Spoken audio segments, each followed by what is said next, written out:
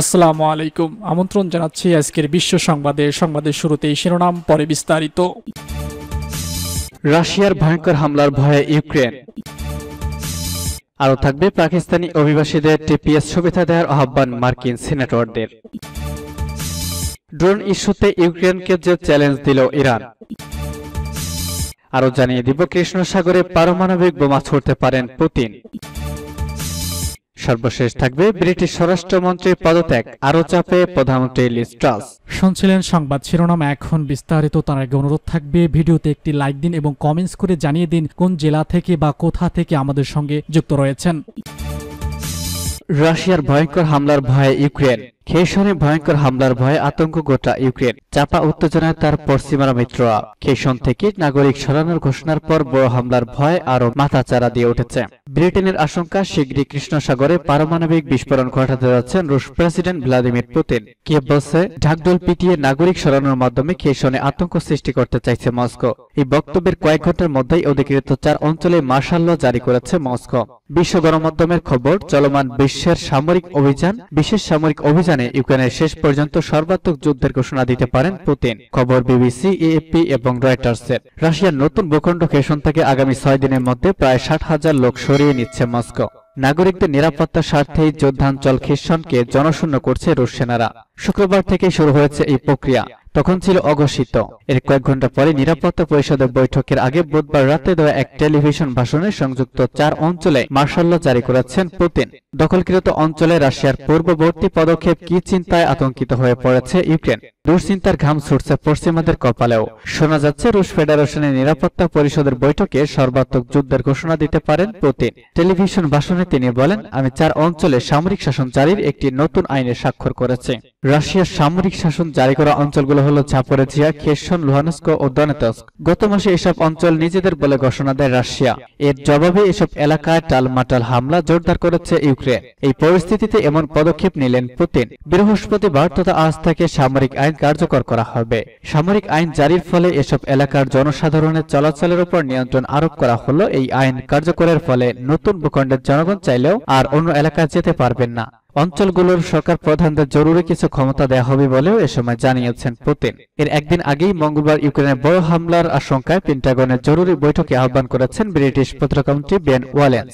British সামরিক বিশেষজ্ঞদের ধারণা, বিশ্বকে নিজের পরমাণু সক্ষমতা দেখাতে কৃষ্ণ সাগরে পারমাণবিক বিস্ফোরণ ঘটাতে পারেন পুতিন। পাকিস্তানি অভিবাসীদের টিপিএস সুবিধা দেওয়ার আহ্বান মার্কিন সিনেটরদের। বাইডেন প্রশাসনের বেশ কয়েকজন সিনেটর বর্তমানে যুক্তরাষ্ট্রে বসবাসরত পাকিস্তানি অভিবাসীদের অস্থায়ী সুরক্ষিত অবস্থা টিপিএস সুবিধা দেওয়ার আহ্বান জানিয়েছেন। পাকিস্তানে ভয়াবহ বন্যা হয় এই আহ্বান জানিয়েছেন তারা। এই সুবিধা দেয়া হলে পাকিস্তানি অভিবাসীরা যুক্তরাষ্ট্রে অবস্থান করতে পারবেন। দুই democratic California senator Dianne Feinstein এবং নিউ ইয়র্কের সিনেটর কার স্টাইন গিলিব্র্যান্ড গত মাসে প্রেসিডেন্ট জো বাইডেনের কাছে চিঠি লিখে বিষয়টি সামনে আনেন। তারা পাকিস্তানিদের টিপিএস সুবিধা দেওয়ার আহ্বান জানান। এরপর থেকে আরও আইন প্রণেতারা এই আহ্বানকে সমর্থন জানিয়েছেন। যারা এই চিঠিতে স্বাক্ষর করেছেন, তারা হলেন senator Patty Murray, Dick Durbin, Amy Klobuchar, Cory Booker, Mark Warner, Elizabeth Warren, Bernie Sanders, Chris Van Hollen, Bob Casey এবং টিনা স্মিথ। তারা সবাই সিনিয়র সিনেটর এবং তাদের মধ্যে কয়েকজন শক্তিশালী সিনেট কমিটির প্রধানও আছেন। একটি বিবৃতিতে এসব সিনেটর বলেছেন, এ বছর অধিক বৃষ্টি ও বন্যায় পাকিস্তানের দুই তৃতীয়াংশ পানির নিচে ডুবে যায় এবং তিন কোটি তিরিশ লাখ মানুষ এতে ক্ষতিগ্রস্ত হয়েছে।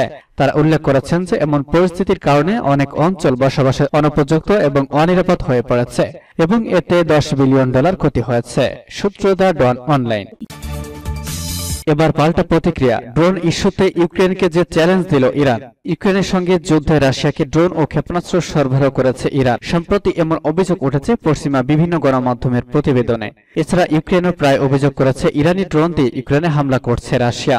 এবার বিষয়টি নিয়ে চ্যালেঞ্জ জানালো ইরান। যুদ্ধে ব্যবহার করার জন্য রাশিয়াকে কমবে ড্রোন সরবরাহের অভিযোগ নাকচ করে দিয়ে তেহরান বলেছে কিয়েবের কাছে এই সংক্রান্ত কোনো প্রমাণ থাকলে তা যেন সরবরাহ করে। বুধবার ইরানের পররাষ্ট্রমন্ত্রী হোসেন আমির আবদুল্লাহিয়ান ক্রোয়েশিয়ার পররাষ্ট্রমন্ত্রী গর্ডান গার্লিক জার্মানের সঙ্গে এক ফোনালাপে ইউক্রেনের ওই চ্যালেঞ্জ ছুড়ে দিয়েছেন। তিনি বলেছেন, ইউক্রেন যুদ্ধে ইরানি ড্রোন ব্যবহার সংক্রান্ত যে কোনো তথ্য প্রমাণ তুলে ধরলে আমরা এর জন্য কিয়েবের প্রতি আহ্বান জানিয়েছি। ইউক্রেনে ও আমেরিকা সহ পশ্চিমা গণমাধ্যম বা দেশগুলি দাবি করেছে, ইউক্রেনে হামলা চালানোর জন্য রাশিয়ার হাতে অন্যান্য সমরাস্ত্রের সঙ্গে কমব্যাট ড্রোন তুলে দিয়েছে ইরান। দৃশ্যত ওই বিষয়ে কথা বলার জন্য বিশেষ করে তেহরানকে মস্কোর হাতে আর ড্রোন তুলে না দিতে অনুরোধ করার জন্য ক্রোয়েশিয়ার পররাষ্ট্রমন্ত্রী তার ইরানি সমকক্ষকে টেলিফোন করেছেন। এ সময় আবদুল্লাহিয়ান আরও বলেন, আমরা যুদ্ধের উভয় পক্ষের কাছে যে কোনো ধরনের সমরাস্ত্র তুলে দেওয়ার বিরোধিতা করে এসেছে। এ সময় মস্কোর সঙ্গে তেহরানের বহু বছরের সামরিক সহযোগিতার কথা স্বীকার করে ইরানের পররাষ্ট্রমন্ত্রী। তবে তিনি একথাও বলেছেন, ইরান শুরু থেকে রাশিয়ার ইউক্রেন অভিযানে বিরোধিতা করে এসেছে এবং মস্কোকে কোনো অস্ত্র সরবরাহ করতে স্বীকৃতি জানিয়েছে। এর আগে মঙ্গলবার ইরানের পররাষ্ট্র মন্ত্রণালয়ের মুখপাত্র নাসের কায়ানিও ইউক্রেন যুদ্ধে ইরানি ড্রোন সরবরাহ অভিযোগ ভিত্তিহীন বলে নাকচ করে দিয়েছেন। সূত্র জানিয়েছে পার্স টুডে কৃষ্ণ সাগরে পারমাণবিক বোমা ছড়তে পারেন পুতিন, আশঙ্কা যুক্তরাজ্যের। যুক্তরাজ্যের গণমাধ্যম দ্য গার্ডিয়ান জানিয়েছে, আশঙ্কা করা হচ্ছে নিজের শক্তি প্রদর্শনে কৃষ্ণ সাগরে একটি পারমাণবিক বোমা ছড়তে পারেন রাশিয়া প্রেসিডেন্ট ভ্লাদিমির পুতিন। যুক্তরাজ্যের প্রধানমন্ত্রী বেন ওয়ালেন্স যুক্তরাজ্য ভিত্তিক যুক্তরাষ্ট্র গেছেন তাকে যুক্তরাষ্ট্র থেকে ডেকে পাঠানো হয়েছে। সেখানে তিনি যুক্তরাষ্ট্রের কর্মকর্তাদের সঙ্গে বৈঠক করেছেন। ধারণা করা হচ্ছে, পুতিনের সম্ভাব্য পারমাণবিক শক্তি প্রদর্শন নিয়েই কথা বলতে তাকে জরুরি ভিত্তিতে ডাকা হয়েছে। যুক্তরাজ্যের গণমাধ্যম দা শানের সঙ্গে একজন নিরাপত্তা বিশ্লেষক জানান, শক্তি প্রদর্শনে পুতিনের পারমাণবিক বোমা ছোড়ার সম্ভাবনা অনেক বেড়েছে। বিশ্লেষকরা বলছেন, নেটোকে সতর্ক করতে এই পারমাণবিক বোমার বিস্ফোরণ ঘটাতে পারেন রুশ প্রেসিডেন্ট। সোমবার যুক্তরাজ্যের সশস্ত্র বাহিনী মন্ত্রী জেমস হিপে স্বীকার করতে বাধ্য হন। মন্ত্রী ও কর্মকর্তারা সম্ভাব্য পারমাণবিক বোমা বিস্ফোরণের বিষয়ে আলোচনা করছেন। তিনি বলেছেন, আমরা এমন সময়ে আছি যখন এই ধরনের আলোচনা প্রয়োজন। যুক্তরাজ্যের পত্রিকামন্ত্রী বেন ওয়ালেস সফরের মাঝেই রাশিয়াকে পারমাণবিক হামলার বিষয়ে আবারও সতর্ক দিয়েছে যুক্তরাজ্য।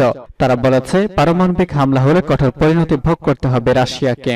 রাশিয়াকে সতর্ক করে দশ নম্বর ডাউনিং স্টেটের মুখপাত্র বলেছেন, আমরা খুবই পরিষ্কার করে বলে দিচ্ছি, পুতিন যদি পারমাণবিক অস্ত্র ব্যবহার করেন, তাহলে এর কঠোর পরিণতি ভোগ করতে হবে। সূত্র দ্য গার্ডিয়ান, দ্য সান এবং নিউজ এইট ইউ। পদত্যাগ করলেন ব্রিটিশ স্বরাষ্ট্রমন্ত্রী। আরও সংকটে লিস ট্রাস। ব্রিটিশ স্বরাষ্ট্রমন্ত্রীর পদ থেকে পদত্যাগ করলেন সুয়েলা ব্রাভারম্যান। ব্যক্তিগত ইমেল ব্যবহার করে সংসদীয় সহকর্মীর কাছে অফিসিয়াল নথি পাঠানোর ঘটনার পর এই ঘোষণা দেন তিনি। যদিও এটিকে তিনি সরকারি নিয়মের কৌশলগত লঙ্ঘন বলে আখ্যায়িত করেছেন। খবর বিবিসির। প্রধানমন্ত্রী লিস্ট্রাসের কাছে পদত্যাগপত্র জমা দিয়েছেন সুয়েলা ব্রাভারম্যান। পদত্যাগপত্র জমা দেওয়ার আগে লিস্ট্রাসের সঙ্গে সরাসরি দেখা করেন তিনি। ট্রাসের অফিস থেকে জানানো হয়েছে সাবেক পরিবহন মন্ত্রী গ্রান্ট শেপস তার স্থলাভিষিক্ত হয়েছেন। এর আগে ট্যাক্স ইস্যুতে পদত্যাগ করেছেন অর্থমন্ত্রী কাওয়াসি কোয়ার্টেং এরপরেই গুঞ্জন ওঠে প্রধানমন্ত্রীকেও শীঘ্রই পদত্যাগ করতে হবে। তবে ব্রিটিশ প্রধানমন্ত্রীর পদ থেকে পদত্যাগ করার কোনো পরিকল্পনা নেই ট্রাসের। তার রাজনৈতিক মুখপাত্র বুধবার এই তথ্য নিশ্চিত করেছে। এ মাসের শেষের দিকেও লিস্ট্রাস ক্ষমতায় থাকবেন কিনা এমন প্রশ্নের জবাবে মুখপাত্র বলেন হ্যাঁ থাকবেন। পদত্যাগ করবেন কিনা প্রশ্ন করে বলেন। প্রধানমন্ত্রী পদ থেকে তিনি পদত্যাগ করছেন না। এদিকে ব্রিটেনের প্রধানমন্ত্রী হিসেবে ক্ষমতায় বসার পাঁচ সপ্তাহ পার হয়েছে লিস্ট্রাসের এর মধ্যেই টালমাটাল অবস্থায় পড়েছেন তিনি। লড়ছেন গদি রক্ষার লড়াইয়ে। গুঞ্জন চার হচ্ছে ক্ষমতা হারানো যাচ্ছে লিস্ট্রাসের এর মধ্যে খবর এলো এই ঘটনার। লিস্ট্রাস ইতিমধ্যেই নিজ দলের এমপিদের ব্যাপক অসন্তোষের মুখে রয়েছেন। এমন সংকটময় সময় সোয়েলা ব্রাভারম্যানের পদত্যাগ দেশটির সরকারের শীর্ষ পর্যায়ে আরও অশান্তি বাড়াবে। বিবিসির প্রতিবেদনে জানানো হয়েছে সোয়েলা মন্ত্রী পরিষদের দুটি নীতি ভঙ্গ করেন। প্রথমত, সরকারি কাজে তিনি ব্যক্তিগত ইমেল ব্যবহার করেন। দ্বিতীয়ত, তিনি এমন একজন ব্যক্তিকে সরকার নথি প্রদান করেন যার কাছে এই নথি দেওয়ার কথা নয়। পদত্যাগপত্রে সুয়েলা ব্রাভারম্যান প্রধানমন্ত্রী ট্রাস্টের সমালোচনা করেছেন। বিশেষ করে ট্রাস্টের নীতির কঠোর সমালোচনা করেছেন তিনি। ট্রাস্টকে তিনি লিখেছেন, এই সরকারের নির্দেশনা নিয়ে আমি উদ্বিগ্ন। আমাদের ভোটারদেরকে প্রদান প্রদান যেসব প্রতিশ্রুতি দেওয়া হয়েছিল, আমরা শুধু তা ভঙ্গনি করিনি, বরং নির্বাচনী ইশতেহারের প্রতিশ্রুতিগুলোকে যেমন সামরিক অভিবাসন সংখ্যা হ্রাস করা, অবৈধ অভিবাসন বন্ধ করা, বিশেষ করে ছোট ছোট নৌকা করে বিপজ্জনক সমুদ্র পাড়ি দিয়ে আশ্রয় প্রার্থীদের আশা বন্ধ করার মতো প্রতিশ্রুতির প্রতি সম্মান রাখার বিষয়ে এই সরকারের সদিচ্ছা নিয়েও আমার গুরুতর অভিযোগ রয়েছে। তিনি আরও বলেছেন সরকারের ভুলের দায় স্বীকার করতে হবে এবং সরকারকে জনগণের উপর নির্ভর করতে হবে। আমরা ভুল করিনি, এমন ভান করা এবং জিনিসগুলো জাদুকরীভাবে ঠিক হয়ে যাবে আশা করাও ঠিক নয়।